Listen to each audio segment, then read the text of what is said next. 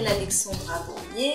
Je suis installée avec euh, mon mari sur une exploitation où nous produisons euh, uniquement euh, en agriculture biologique des pommes de terre, du bœuf, des volailles essentiellement, des volailles prêtes à cuire, des poulets, des pintades, des canettes, de la dinde de l'oie. Voilà, donc toutes nos productions sont vendues en vente directe. Toutes les semaines, là par exemple aujourd'hui mercredi, euh, j'ai préparé toutes mes livraisons parce que demain je vais livrer dans les magasins biologiques de Caen. Hein, quand il y a des petits marchés locaux, par exemple dans la commune il y en aura un cet été, on va vendre euh, sur ce marché local.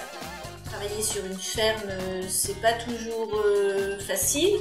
Et le fait de rencontrer chaque semaine les clients qui peuvent nous dire ah mais vos produits sont bons, vraiment ça fait plaisir, et bah du coup ça nous remotive et on a vraiment envie de travailler en circuit court. Ça permet aux clients d'avoir directement le produit en direct chez le producteur et donc de ne pas payer très cher son produit. En ce qui concerne la vente à la ferme, il faut donc avoir des tranches horaires assez larges euh, pour, par exemple, ici, c'est le jeudi après-midi. Ça veut dire que les clients peuvent venir chaque jeudi après-midi.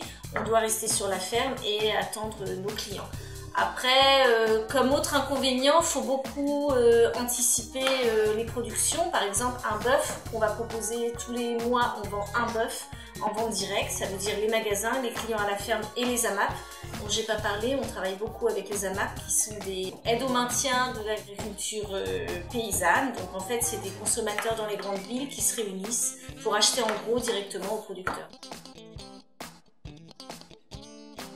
Bah, le matin, c'est ouvrir, euh, aller ouvrir aux animaux, aux volailles, euh, s'assurer que tout va bien, les nourrir. Euh, moi, j'ai des poussins avec lesquels je suis très vigilant en poussinière.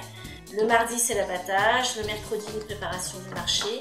Voilà. Dans une journée, on fait un petit peu d'administratif, mais on fait aussi pas mal d'entretien et de suivi des animaux.